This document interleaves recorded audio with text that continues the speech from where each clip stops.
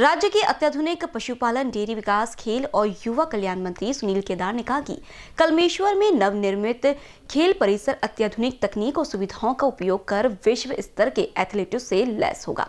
वे कलमेश्वर नगर परिषद एवं भूमि पूजन कार्यक्रम के अंतर्गत विभिन्न विकास कार्यो के उद्घाटन के अवसर पर बोल रहे थे।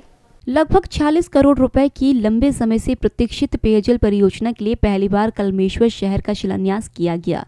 मंत्री सुनील केदार ने कहा कि इस योजना से अगले 25 से 30 साल तक कलमेश्वर शहर में पेयजल की समस्या नहीं होगी।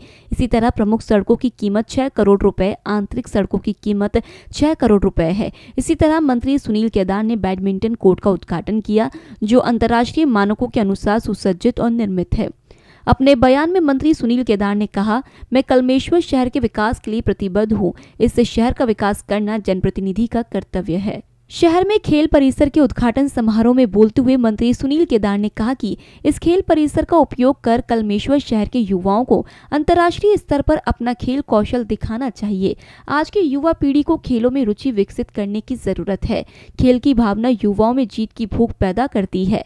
आत्मविश्वास पैदा करने में मदद करती है। लेकिन सबसे महत्वपूर्ण बात यह है कि एक सामाजिक दृष्टिकोण। मंत्री सुनील केदार ने कहा कि आज देश और समाज को वास्तव में एक सामाजिक दृष्टिकोण की ज़रूरत है।